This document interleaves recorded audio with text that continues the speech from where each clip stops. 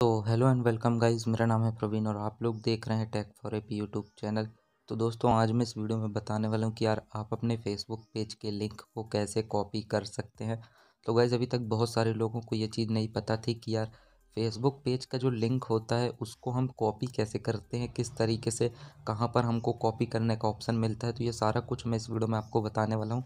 और इससे last video में मैंने आपको बताया था कि आप अपने यूट्यूब चैनल के अबाउट सेक्शन में अपना फेसबुक पेज का लिंक कैसे ऐड कर सकते हैं। अगर आपने अभी तक वो वीडियो नहीं देखा तो जाकर देख लेना।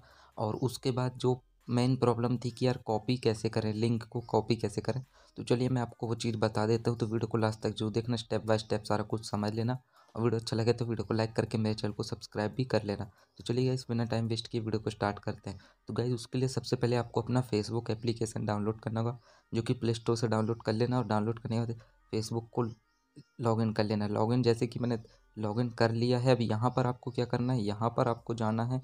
ये ऊपर जो थ्री लाइन वाला ऑप्शन आपको देखने को मिल रहा है, इस वाले ऑप्शन पर आपको एक बार क्लिक कर देना है। तो जैसे ही मैं इस पर क्लिक करूँगा तो इस पर क्लिक करने के बाद यहाँ पर आप देख सकते हैं, यहाँ पर यूर शॉर्टकट में आपको देखने को मिल जाएगा।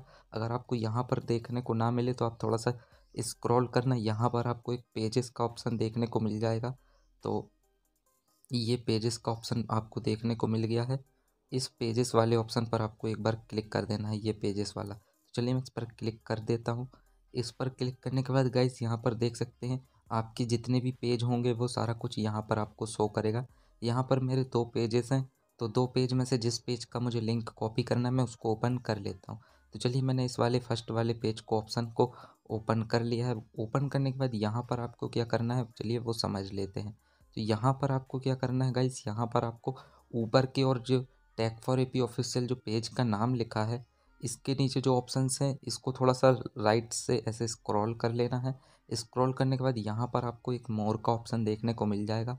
मोर के ऑप्शन पर जैसे ही आप क्लिक कर लोगे तो जैसे ही आप क्लिक करोगे तो यहाँ पर आपको थोड़ा सा नीचे स्क्रॉल करना है और नीचे स्क्रॉल करने के बाद यहाँ पर आप देख सकते हो, यहाँ से पेज को एडिट कर सकते हैं, यहाँ से सेटिंग्स कर सकते हैं, यहाँ से फ्रेंड्स को इनवाइट कर सकते हैं और जो नीचे लिंक है, कॉपी पेज लिंक इसको करके हम कॉपी कर सकते हैं। तो चलिए मैं इस पर क्लिक कर देता हूँ। जैसे ही मैं इस पर क्लिक करूँगा तो यहाँ पर आप देख सकते हो कि मेरा जो पेज का लिंक है वो कॉपी हो चुका है। तो गाइज़ इस तरीके से आप अपना जो पेज है उसका जो लिंक है उसको कॉपी कर सकते हो। तो आई होप गाइज़ आपको समझ में आ गया होगा कि किस तरीके से आप अपने जो फेसबुक पेज का लिंक है उसको कॉपी कर सकते हो और कॉपी करके आसानी से अगर आप वो कहीं पर भी पोस्ट करोगे या किसी को सेंड करोगे और वो अगर आपकी लिंक पर क्लिक करेगा तो जो आपका पेज है वो आसानी से ओपन हो जाएगा। तो आपको सारा कुछ समझ में आ गया होगा और वीडियो भी पसंद आई होगी। तो यार अगर वीडियो पसंद आई है तो वीडियो को लाइक कर देना और मेरे चैनल को सब्सक्राइब नहीं किया तो प्लीज़ सब्सक्राइब करके बेल नोटिफिकेशन कॉल पर सेट कर लेना, क्योंकि मैं ऐसे YouTube related tips and tricks की वीडियोस भी अपलोड करता हूँ, साथ ही साथ फेसबुक रिलेटेड वीडियोस भी अपलोड करता हूँ। तो चलिए गाइस इस वीडियो को यहाँ पर एंड करते हैं। मिलते किसी नई धमाकेदार वीडियो के साथ। तब तक लिए bye bye take care and जय